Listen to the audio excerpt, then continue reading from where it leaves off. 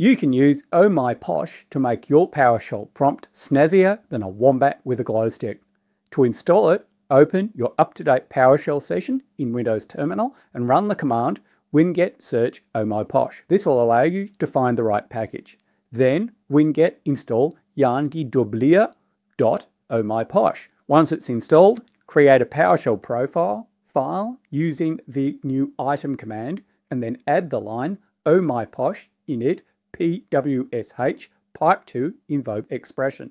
That'll get oh my posh running each time you start a PowerShell session.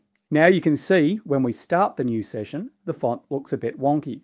That's because we have to install one of the fancy patch programming fonts, also called nerd fonts, which include glyphs and icons, for those extra bits to display at the PowerShell prompt. We can do that with the command oh my posh font install meslo. Next, we have to configure the Windows terminal to use that font. We can do that by going to Settings, selecting Defaults and choosing Appearance. On the Appearance page, choose Font Face and then change it from Cascadia Mono to Meslo LGL Nerd Font. Save and close the settings, restart terminal, and you have the fancy Oh My Posh running in your terminal.